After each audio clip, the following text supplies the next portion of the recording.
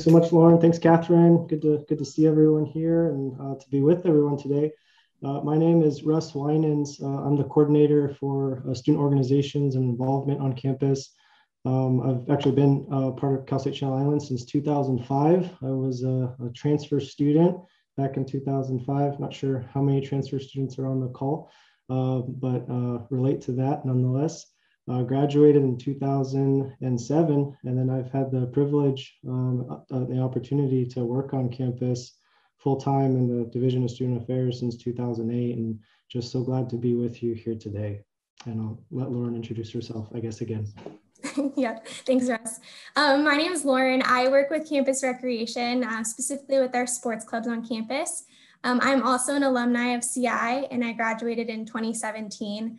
Um, I worked as a student for Campus Rec for three years and now as a professional staff member for four years. Awesome, great. Well, we have a uh, PowerPoint presentation, so I'm going to share my screen in just a second um, and kind of give you an overview of our clubs and orgs and some of the things that uh, relate to getting involved on campus. So let me open that up for us. And go. Great. Can everyone see that? Or thumbs up maybe from Lauren or folks? Okay, cool. All right. Um, so just an overview of where we're headed. We've already introduced ourselves uh, and definitely want to welcome you here. We're so glad to have you. Um, so we'll start by just giving a brief overview, kind of, uh, you know, um, who, who we are as clubs and organizations on campus, some different categories of clubs. Um, drill down a little bit more into the sports clubs, and that's really Lauren's expertise. So she's going to take that part for us.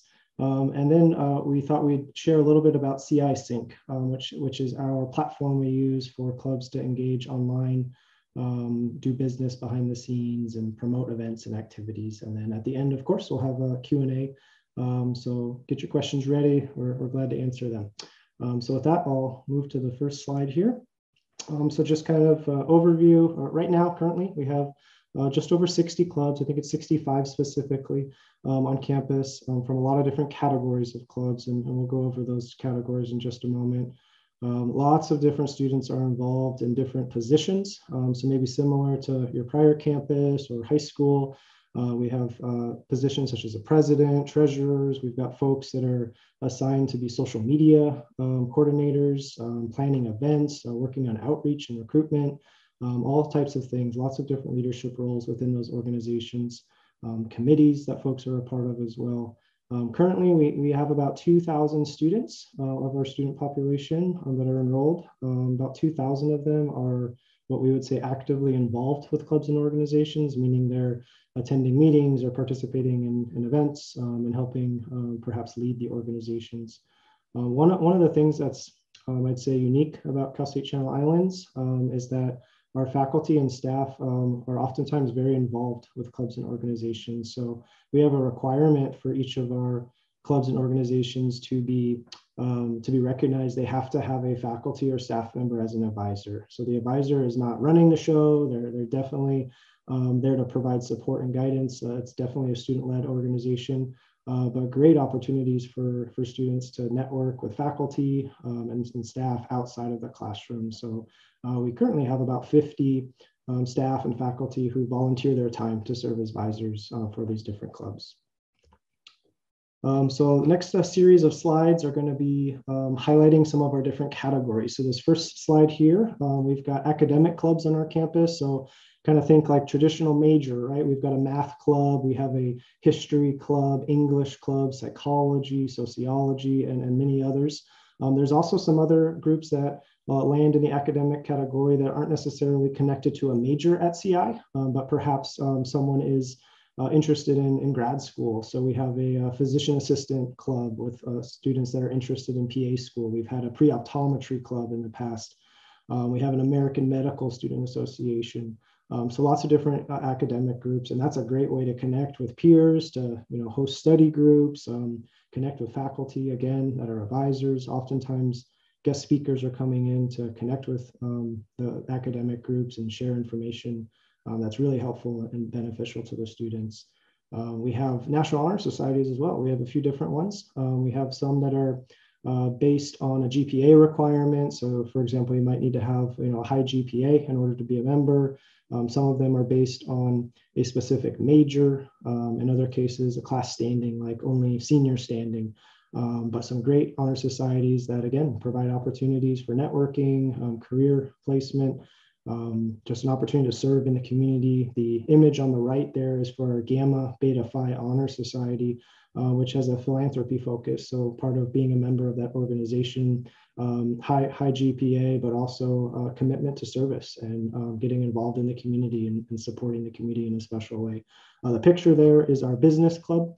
Um, think it was a, a couple years ago. Um, they did a tour, kind of like a field trip, I guess, uh, with some faculty and, and uh, met at a, uh, a, GM site and kind of learned behind the scenes operations of what goes on um, in that operation. So that, that's pretty common uh, for many of our clubs. They make connections with the community and um, do some travel in that kind of way. Uh, next slide here, uh, service clubs, environmental focus clubs, social justice clubs, political clubs. Uh, bottom right there is a picture of um, some of our Green Generation leaders from, I think that was three semesters ago, four semesters ago, maybe fall 2020. Um, they were tabling, uh, raising awareness about some of the environmental causes that they're passionate about. Uh, on the top left is a picture of students at a local beach. I believe it's Ormond uh, Beach here locally. Um, and they are doing a fence repair. Um, so the Audubon Club is uh, part of a national organization serving um, uh, different bird migrations, um, and that particular beach um, needs to be uh, really protected um, from people just coming and, and, making a mess of things when the birds are, you know, migrating. Um, so the students are out there working with a local partner to repair that beach. Um, and the other picture there is some really outstanding student leaders that I feel really privileged I've been able to work with uh, the past few semesters from our Empowered Women of Color group. And, and they're doing just great work uh, in the social justice world and empowering folks and advocating. Um, and then our next slide. So we have uh, quite a few different pictures here and some great colors going on. Um, so we have uh, a variety of cultural clubs on campus. The picture on the bottom left is our Ballet Folklorico Club. Um, so they've got some just outstanding performers, um, and that was actually a performance that I believe they did on campus um, early early in the semester um, in the fall of 2020. Um, I think it was around Day of the Dead, uh, perhaps. Um, but they, you know, are out there doing performances. They practice on campus. Those dresses are actually a part of, of, being a member in the group. Uh, they were able to, you know, get those dresses through being a part of the group. Uh, the top picture there um, in the center um, is our Queer Student Alliance group. that's a picture of them. I believe it was a Pride parade or a Pride event in Thousand Oaks. Um, so the students were connecting with folks in the community and participating in that way.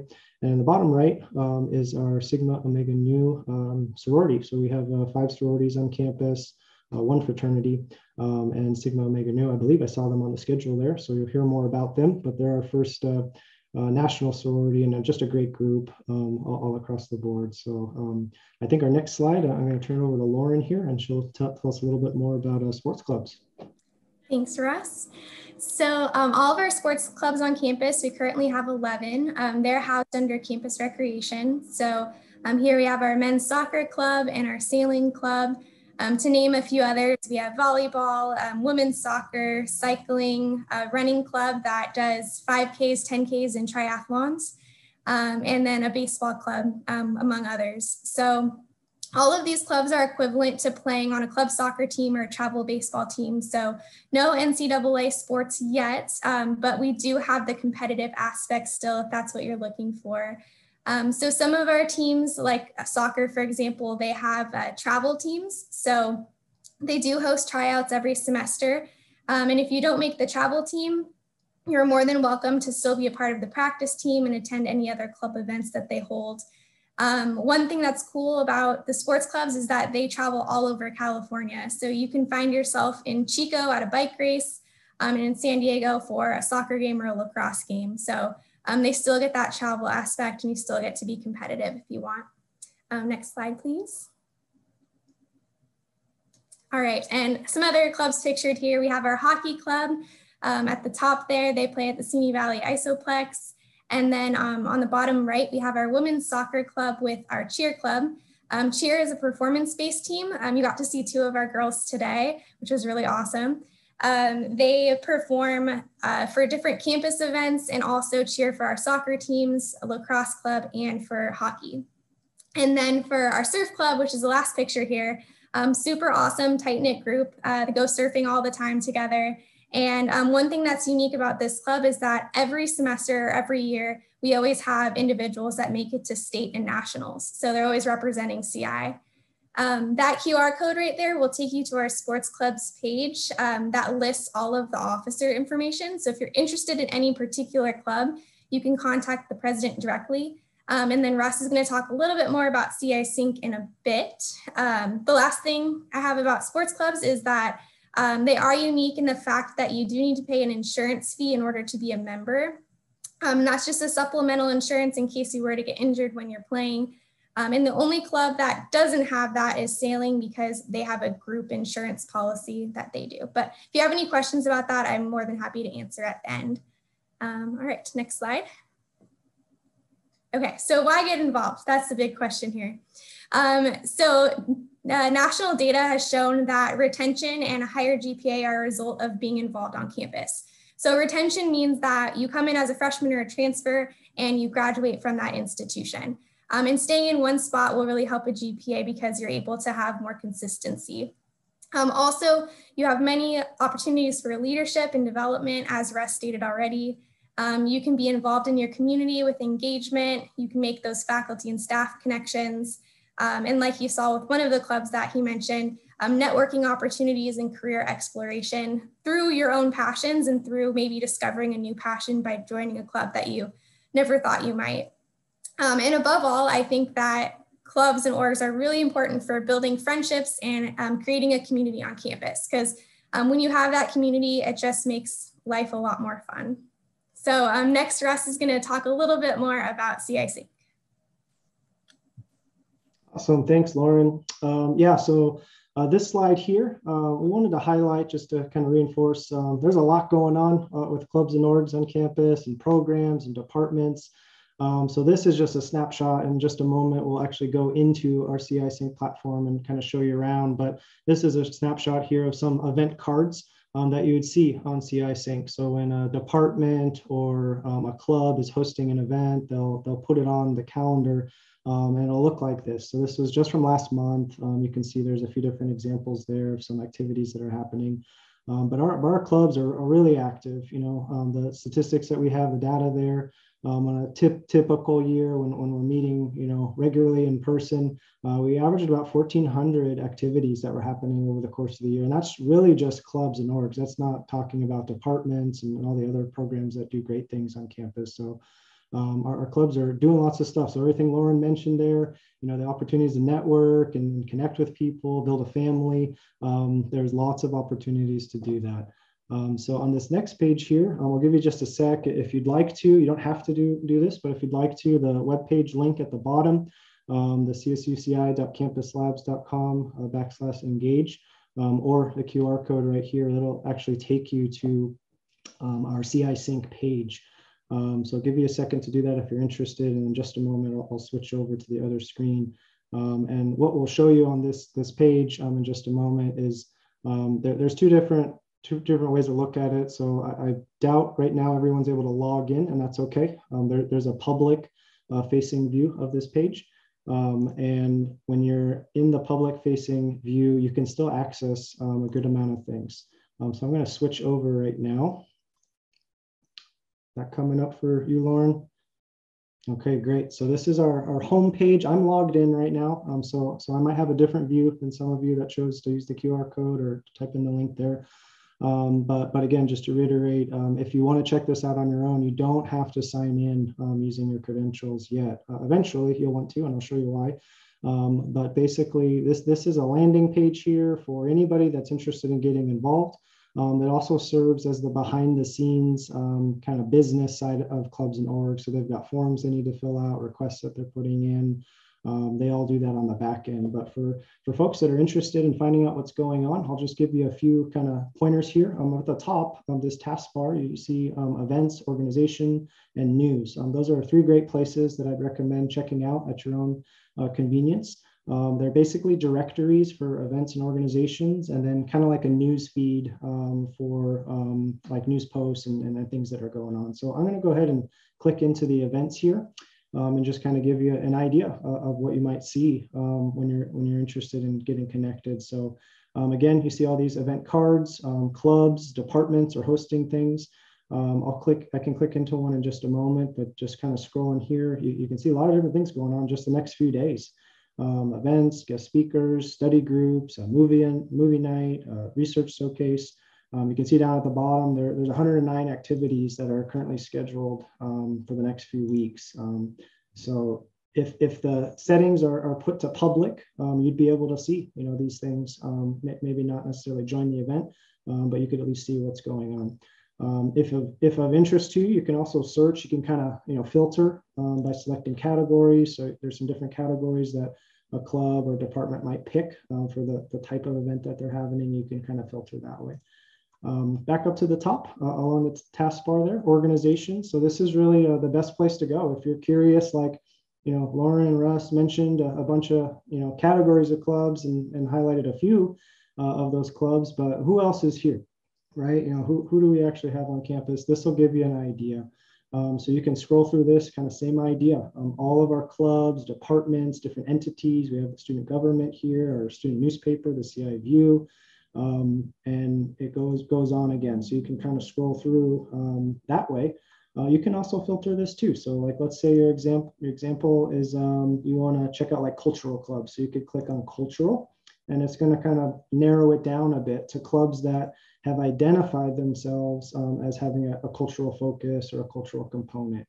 Um, so kind of the next step from there, because um, this is you know a brief description of each club, or Filipino club, um, a MECHA that we have on campus. If you want to get more information, you just go ahead and you click uh, on that link and it's going to take you to their page. Um, so every page is a little bit different. Um, apologize, it was just loading there. Um, so you can see MECHA, for example, they've got a YouTube video that they've put on their page. You can learn a little bit more about them. They've got some photos here in the top right, uh, a pretty great description. It gives you a lot of details about who they are and what they're all about, uh, contact information, links to their social media pages, um, events that they have coming up um, in the next uh, few weeks uh, officers, advisors. So, for example, if you wanted to contact Andrea, who's the co-chair, kind of like a co-president of the club, the co-chair, you click on her name and there, there's her email, and, and she, um, as the uh, leader of the club, would uh, be a great person to reach out to and ask questions. Um, if you didn't want to, you know, contact someone directly, uh, back up at the top of the page, um, there's a contact button.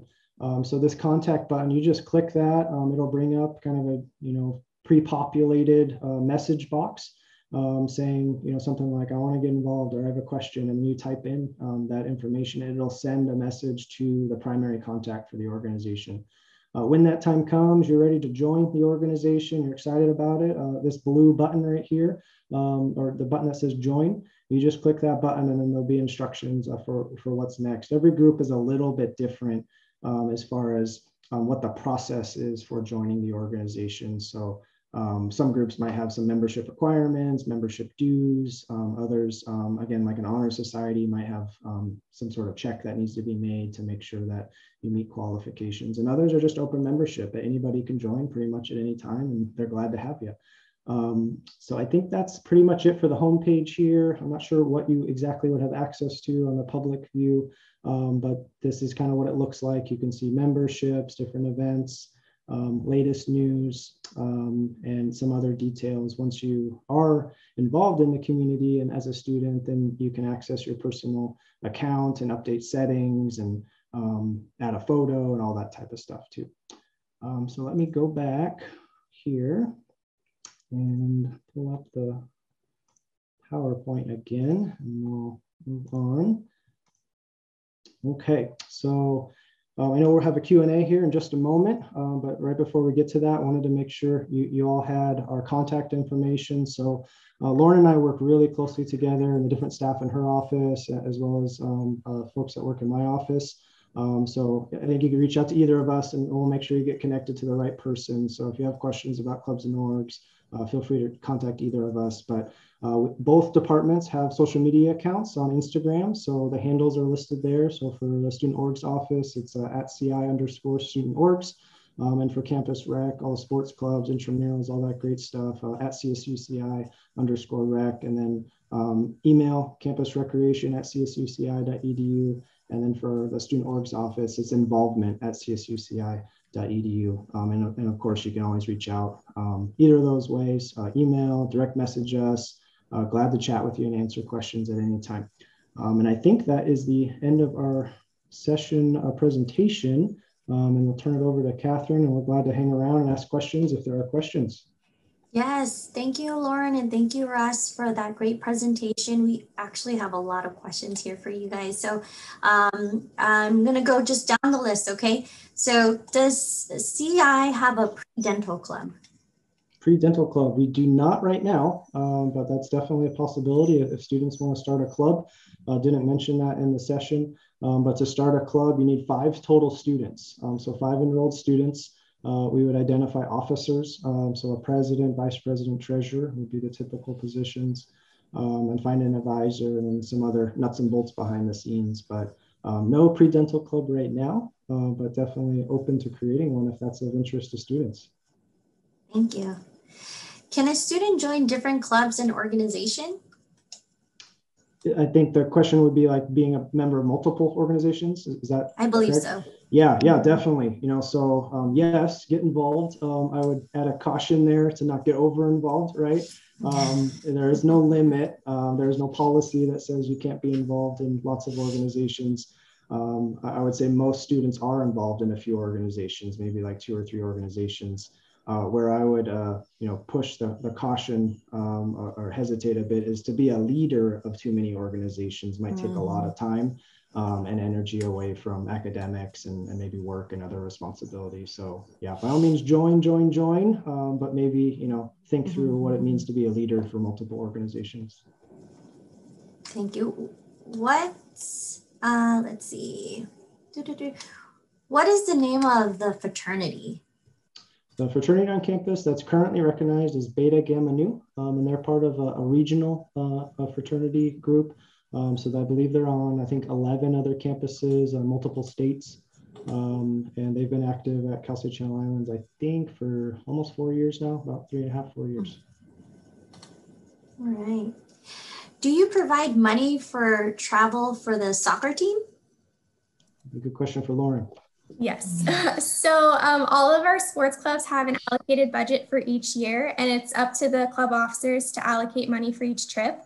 Um, so typically for our soccer teams, they um, allocate money to pay for reimbursement for fuel because um, everyone's driving their own cars to the game. Um, typically, that's what they'll do for travel. Um, soccer doesn't really have any overnight trips, so they're kind of like there and back. Okay. Hmm. Is there a theater club or an English club? Yes, yeah, to both of those. So we have a, an active English club right now. They've been meeting virtually um, consistently throughout the semester. They've had guest speakers. They do um, writing events where they critique each other's writing and prepare, you know, assignments in some cases, um, a journal, um, all, all types of stuff. They're a really great group. Uh, the Performing Arts Club um, is, is the club that I would most likely compare to like a theater group. Uh, they're not active right now, um, but they have been very active in the past, and I would anticipate um, having that group active again next year. Um, as some students have expressed interest in that. When it was active, they were regularly partnering with the Student Union building on campus or Associated Students Incorporated to host um, open mic nights, um, different types of performances. Um, they worked with our performing arts department. Uh, many cases, the students were involved in performing arts and doing performances and shows and all sorts of great stuff. So, um, yes, to both of those. Okay. Yeah, we do have a list of uh, requests to see if we, you guys have that available for different clubs, but I will go into that. Uh, the next question is Do we have to join right away or can we join later in the semester?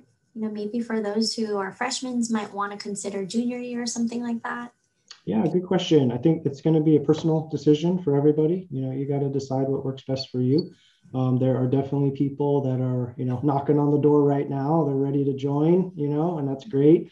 Um, so it's okay to join, you know, right at the beginning of a semester, and oftentimes that works really well to be on board from the beginning. Um, but I, I, would say all of our groups, with the exception of groups that might have um, like a specific requirement, you know, to like an honor society or like you know, some type of um, you know process to go through, might be unique. Like our fraternity sororities have a recruitment season um, that's typically for us in the early spring. Um, outside of that, all the other clubs and orgs, you're pretty much welcome to join whenever you're interested in joining and they want you to join. So um, if it's the first day or it's later in the semester, um, you know, come on, come on board. Uh, for sports clubs, Lauren, um, does it look similar, different? Yeah, they're pretty much open um, whenever you want to join. Uh, if you're joining a club that has a tryout requirement just for a travel team, um, it might be a little too late after tryouts are over, but otherwise they always accept um, all members. Okay. So this might be like a piggyback question. Uh, do you, will students have access to the CI sync when they are admitted or accepted? Um, I guess maybe to clarify with the question, um, would the student be able to have access now is kind of what I'm thinking um, prior to classes starting? That's a great question. Um, I'm not 100% sure uh, how, how it works as far as single sign-on. Um, uh, the credentials go, in order to get on CI Sync uh, beyond the public facing page, um, to, you'd have to use your CI credentials to sign in. So as soon as they have those, um, they would be able to. In the past, um, as early as uh, like freshman and transfer orientation season um, during the summer, students have been able to log in um, because they're able to access um, their credentials that way. So I don't know if you know, Catherine, off top of your head, when students would have those credentials, but if they have them, they should be able to sign in to, to MyCI um, and to um, CI Sync. Most likely it would be towards orientation. They should be able to have access to that. Usually it's like when they get access to their email. So I would say going closer to orientation. Yeah. So probably if you're looking at your calendar and you want to mark a date for when you can join clubs, then you know probably mm. June is what you're aiming for or July. Yes. Thanks, Catherine. Thank you. Um, do we have D1, D2, or D3 school for sports? Not currently. Um, everything's just going to be at the club level. All right. Um, and how much is the fee? Um, so for each sports club, there's that $45 insurance fee. Um, but from there, other clubs might have other requirements. So um, like for soccer, there's a $25 league fee that is paid per person. Um, I think pretty much all of our clubs have a built-in system where they use their club budget to, to pay for those types of things. Okay. Yeah, and then some of the other clubs, um, like Lauren mentioned, just add on to that. Um, they do have club dues, so like a membership fee, um, but not not all of them do. So um, in most cases, when they have a membership fee, it's either because they're a part of a national organization, like an honor society, uh, a sorority, for example, might have you know membership dues, um, and then some other um, examples might be you know some of our academic groups might, might partner with like an organization nationally, and there's a membership fee that gets you access to like a network. Mm. Um, um and then other groups don't have anything like that, so they're very much open without any membership dues. Okay. Uh, I know we have a few more minutes here, but I want to try to get as many as we can. Um, do you know if oh, uh, the other question was, is there a men's volleyball team? Yes. So um, all of our sports are open to everyone. Um, the only club that split is our uh, men's and women's soccer clubs. But volleyball, um, they have a men's team and two women's teams currently. Okay. Uh, next question is, do you guys have a club? So N-E-T-S-E-C. What type of club is that? Uh, it's a network security. So they're learning how to do hacking. Mm-hmm. Um, so they've got some faculty on campus that have background in that. Not doing anything illegal, of course. At least I hope not. Um, but no, they're they're learning kind of the ins and outs and how to protect networks and make sure things are secure. Uh, really great stuff. They have a Discord um, that students usually meet on Discord, and then um, you know they have their meetings that way and, and have a variety of uh, topics that they go through. All right, thank you. Uh, we do have a few more questions. I'm gonna um, ask a couple more. Um, if you like, if you could stay in just a little longer to see if you could yeah. answer through the questions, that would be great. So let me just kind of go through some of these. Um, are there sororities or campus? And if, okay, are there sororities on campus? And if so, how can transfer students go about trying out or joining? Uh, yeah, great question. Um, yes, there are sororities on campus, um, and the recruitment is typically in the spring. Um, I think Emily is here, it looks like, for the next session, um, the Sigma Omega Nu. Uh, maybe stick around for that, and she could share a little bit about their process, um, as I'm sure it relates to all the others, since they, they do it together. All the sororities do recruitment at the same time. Um, it's typically in the spring semester, and as a transfer student, you should be able to participate. Thank you. And do you know for uniforms, um, are those also we they pay they would have to pay for their uniforms? Is that correct or? Um, for sports clubs, they're all through campus recreation. So our clubs all have their stuff paid for already, and they're just for a year. Oh wow! Do you need to have an interview to get into the club? Depends uh, um, you know, kind of again with some of the honor societies or, maybe um, the recruitment process for sororities and fraternities. Um, there, there's a couple extra steps there um, that might include an interview or a group process. Um, outside of that, though, uh, they're just glad to have you. So, you know, feel free to join um, and no pressure to be interviewed. And where can they find the information to join? like more information about sororities and for um, yeah that's a great question. You know a couple couple spots i would say you know go to ci sync um, and, and you can check the directory there of organizations click on the specific group that maybe you're interested in and contact them um, directly that way. Um, you can um, reach out to, to myself or if it's a sports club reach out to lauren. Um, and we're glad to connect with you meet with you talk through you know specific questions that you have. We might be able to answer as well um, and then social media would be the other one, you know, potentially going on Instagram uh, is probably the best place I'd say for our clubs. Um, they're pretty active on there. If you go to the um, at CI underscore student, student orgs account, um, send us a DM there or just look at um, the groups that we're promoting. You can see which ones are active that way too. Okay. Do you have to know how to surf well to join surf club? Absolutely not. um, so all of our sports clubs absolutely love when they get people that are new to a sport. So um, you do not have to have any prior experience for any of the sports clubs in order to join. Okay, that's good to know. you have to try out for sports clubs? Um, only specific ones. So off the top of my head, um, the only ones that host tryouts are um, cheer and soccer. All right, so we have one more minute here. I'm going to ask one more question before we uh, wrap it up. Uh, is there a snorkeling club? Not that, not that I'm aware of. Uh, students do like snorkeling though, and they can certainly go to the beach, um, but no snorkeling club at this time. Or Lauren, is there anything through the waterfront uh, program?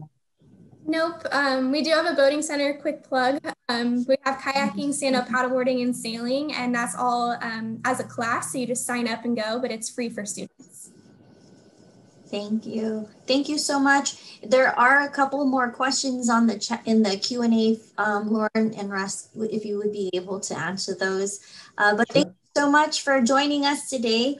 Um, great questions. We had a lot of students ask great questions. Uh, thank you so much. It's thank our you. pleasure. Thanks for the time.